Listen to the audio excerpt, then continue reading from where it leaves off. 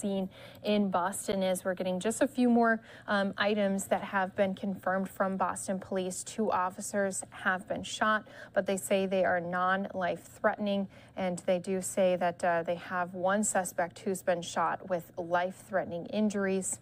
All of them have been transported to hospital. Uh, there will be a briefing, hopefully, at some point. And again, if we are able to get that, then we will, of course, bring that to our viewers right here with us on Live Now from Fox.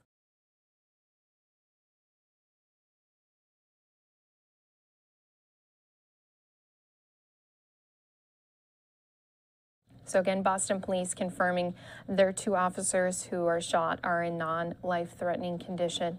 One of the suspects, though, has been shot, does have life threatening injuries. All three people have been transported to the hospital.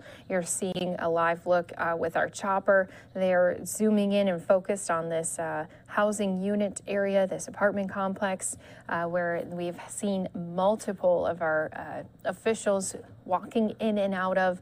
Uh, we've also seen them down on the ground. It looks like they have uh, quite a bit of their pieces of equipment that police wear to protect themselves have been taken off. There's different equipment that police officers wear depending on different situations. Uh,